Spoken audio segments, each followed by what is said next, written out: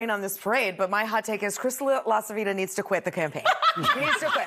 He needs to quit right now. Save yourself. Save yourself. You're too good for this. He is very. And you have two people in J.D. Vance and Donald Trump, your principals, who are disasters and are incapable of listening to your very good strategy advice. So quit. Quit now.